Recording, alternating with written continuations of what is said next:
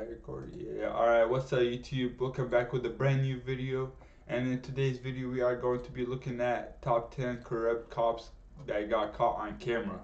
Hey, not all cops are bad, but a lot of them are bad, more than good, which is bad. But let's watch what happens and w- what they do when they get caught.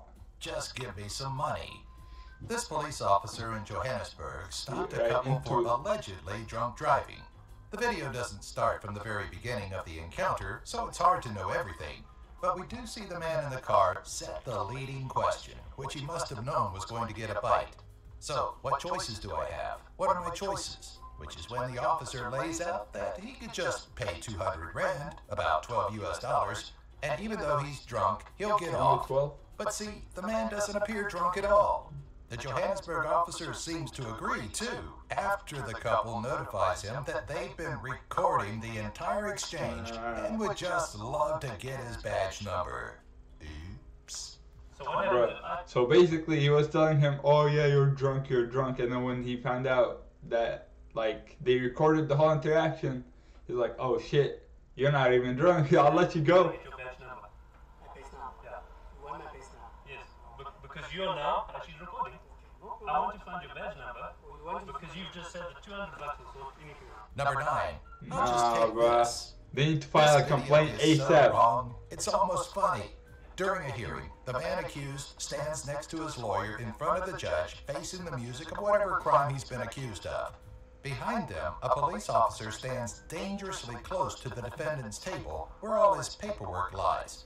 He seems to read over the papers, very interested. Then, suddenly, he grabs one of the pieces of evidence. The video cuts out, and we see another officer take the paper away. What just happened? How is this anywhere in this man's job description? Of course, after being asked to hold a press conference and apologize, which he declined. Bro, they, they're literally trying to hide the evidence. Oh my god, bro. If I was the judge, I'd be like, alright, both of you, you're gonna be in my courtroom next, bro. You're trying to hide. Isn't that illegal tampering with evidence? That's illegal. Tampering with evidence. I'm pr- if I remember my laws correctly, that is definitely illegal, bro. They should be prosecuted. He was held prosecuted. in jail for 10 days. Oh shit, they Had did. not Okay. been for the camera, this would probably just have been another, Another day, day. on the job. Yep. Number eight, Yep. crooked cop. They, they they look like they weren't even worried, bro. They it looks like they do that normally. He just walked up, started reading. Oh no, I don't want this. Gave it to his friend. His friend took it away. Like, come a on, bro. YouTuber. Come on, we need more Leave it cameras. To a YouTuber to have a camera set up in his car. A cop pulls Chris Calbaugh over at a DUI checkpoint and he starts asking the officer questions about whether or not he'll be detained. He shrugged off. The cops forcing him to get out of the car and watch as they use a canine unit to justify probable cause to search the vehicle. Even though it's a DUI checkpoint, they never actually try to see if he's consumed alcohol or ask any questions about it at all. These crooked cops seem very interested in finding something else. Lo and behold, as soon as they realize that Chris has a camera in the car catching the entire thing on video, the officers let him go. Oh my Chris wasn't about to keep quiet about it either, so he uploaded the video, and this cop became one of America's most disliked people within a few days. Yes, sir. Well deserved. Right there. Am I being detained or Pull am over to to the side right there. Okay, step on out. Am I, out. so I'm being detained? Either pull over to the other side. Number seven, exposed. Most of the time, crooked cops just misuse their authority to get benefits, whether those benefits are cash, credibility, or even power. Sometimes, though, cops are just bad people. This guy, for example, is a classic infiltrated weirdo. He The thing like a about weirdo. being a cop is whether you're in uniform or plain clothes, you have an image to uphold. You're an officer of the law, on duty and off. Officer Fritz exposed himself to little girls who were, at that time, on their way to church. He showed them his penis and asked for directions. Like, don't mind my penis, where's the nearest McDonald's? Officer Fritz was picked up and charged after being caught on surveillance tape. What a Number piece six, of cop steals bro. That's a piece of shit, bro. Oh my god, doing that to little girls. What goes on through, bro? I just want to understand what goes on through a human brain when they be like, oh, you know what? I'm gonna go flash to the girls and ask for directions. Like, bro, oh my god, oh my god. Man's pay. This one makes That dude me needs help, really big time help. When you call the police saying there's a man in the area, the last thing you expect is for the officers who show up to then turn on you, pepper spray you, and steal your money. What the fuck? When the police showed up expecting to find an armed assailant but saw nothing, they proceeded to search the same people who had made the call. They put a man up against the fence, searched him, found money in his pocket, which later turned out to be $1,300, and you can catch the moment when the officer pockets the money. Everyone on the scene tells the cops that what he's doing is just wrong, but they just end up on his bad side. The worst part is, Yo, yo, he's not even acting like a, th- a cop. He's acting like a thug, bro. He's acting like he pushed him up on the wall, grabbed his money, put it in his own pocket, bro. Nah, on God, at that point, I don't give a fuck if you're a cop, bro. I'm throwing hands. Put me in jail, bro. It's worth it. Put me in jail. Let's go to the court. Let, let's show the judge what he did. He just stole, he just stole his money. He just stole his money. He just stole his money. He just stole his money. That's robbery. Number five, planting That ass just fucking robbed him in five is a front of all those people. Bad cop you'd see What the fuck? Luckily, surveillance cameras can still Bro, he actually robbed him. I can't get over that. He took. Oh hell no. a smoke shop, supposedly under instruction to plant evidence. He walks in with his hands inside his jacket pockets, looking pretty shady, in fact. He seems to ask the shop owner for something, and while the shop owner's eyes are averted, he walks over to the side of the register and drops a small bag of crack cocaine on the counter. That amount of crack could have put the shop owner away for up to seven years. Thanks to CCTV footage, though, it's just showing how shady some police can be. The Oh, owner was arrested and in jail for five days before he could make bail. In the end, the police and DA refused to make a statement and even held on to the tapes for months before the defendant's lawyer was successful in obtaining them. Oh my Number god, four, bro. speeding behind. And that's the other thing. They help each other out. They help you, bro. Fucking. You know what's worse than a cop who hides on the They're side of the road bro. to catch someone speeding? A cop who is speeding on the highway and then pulls you over for speeding behind him. It sounds crazy, but this crazy cop was going 85 miles per hour with no lights on. His leisurely speed was defiant, probably thinking no one would dare do anything about it. Our cameraman hero was not intimidated, even when he got Yeah. pulled over. You want to go that speed? car. I'll go that speed too. You're a human. I'm a human past too. him in 60 mile per hour What? traffic, What? Going at He thinks just because he's a cop, he won't get in a car accident.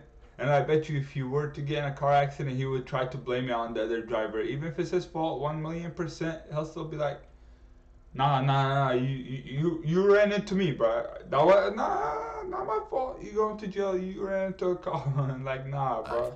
The police, in that case, are as much a danger to the roads as he supposedly is for following them, and he's the one getting pulled over.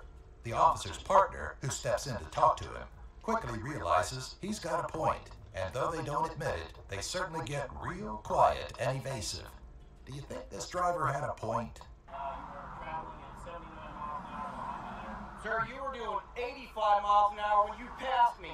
And uh, apparently that's against the law too. So where do you get out pulling me over for speeding Yeah. when you flew past a bunch of traffic in 60 miles an hour? No lights. Let him No know. lights, no siren. Number three, Let him know. Canadian cop. Now, I know we're all over the stereotype that Canadians are great people. They may be. Some are nice. Oi, mate. They say You sorry help on that in car? that adorable way. But in every country, there's good people and bad people. Yes, in sir. this case, Bad. good cops and bad cops. These two young American kids crossed the border for a weekend, probably to take advantage of the 19 year old drinking age on the other side of the border, and got stopped by a shady cop in the process.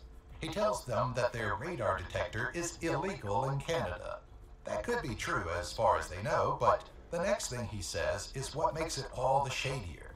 Since you're not from here, you'll have to pay me now or else you'll get detained. Oh my For some god. reason, after talking to the cop for a couple of minutes, he lets it go and tells them they're getting a big break. It's no wonder why they posted that video afterward. Number. There. Okay. Six hundred dollar fine for that. Is it I real? get to seize your car. I get to seize it. And since you're not from here, you have to pay me now, or else you get Yeah, detained. it's pay me now. You kidding me? No, I'm not. Number Nah, two, bro, I'd have been like, have Ferrari Nah. I'd rather not pay. Arrest me, sir. Can you please arrest me? Bro, if you have evidence like that, let them arrest you. Cause you can fuck them up. caught Take their job away. And then there's driving to work in the Ferrari you bought with dirty money. When you're a cop and a criminal, you gotta act smart. And this guy just didn't get the memo. This guy from Birmingham, England, was running a side business waiting for men outside of strip clubs to drive them to a brothel, where he then overcharged their credit cards for the services, skimming money from every transaction. As you'd Wow, guess, oh that cash God. added up quickly. Now, where could a crooked cop put his crooked money? Real estate? Stocks? No, he decided to buy a $250,000 Well, that's not suspicious. A cop who barely makes any money just bought a brand new Ferrari. Oh my god, you know what? That's regular. All cops should go and buy supercars with their massive paychecks that they get. Wait, hold on. Let me just check something real quick. How much do cops get paid hourly? We got we, we got 32 bro brother brother brother brother your annual like every year is 67,000 bro. You need what five years to buy that Ferrari? But you know it doesn't look suspicious at all for you a cop that barely gets paid anything to go and buy a Ferrari. Why not you know Ferrari and then drive it to work.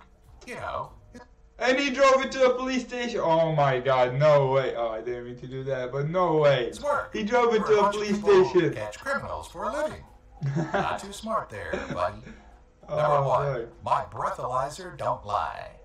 This Utah officer is actually the only woman on our list. She's a Utah Highway Patrol officer who actually looks Wow. cheerful and Only one crooked woman in the whole Department of the United States of America. Good job. Just joking, bro. There's a law, but hey, only one got caught. Only one got caught. She's approachable, young, but little did you know she's not who you want pulling you over. For some reason, she started building a habit of pulling people over and arresting them for drunk driving. Sometimes she'd even carry out breathalyzer tests, which the suspects would pass, and she'd still arrest them. oh my She tried the same tactic with accusations from DUIs, drugs, and even bogus speeding arrests. She did this so many times that the complaints were her downfall. People came together and began a class action lawsuit against her. In the end, it was found that she had done this to over 200, 200 different different people, people, oh and she was God. fired in 2012 for her actions. A class action lawsuit ensued, but no criminal charges were ever filed against That's her. it? All they did Thanks was fire her? Oh, hell, bruh. remember to subscribe, She did all that to those people, and all they did is fire her. enjoyed it, then share Well, Karen, you gave us all these people to arrest and get their money and give them tickets, but now that we found out that you're lying, all we're gonna do is say goodbye. Don't come back to your job. Nah, bro, she needs to be prosecuted. But either way, make sure you like, subscribe, hit that notification if you're new, and hey, bro, come watch me live. I'm live right now. Peace.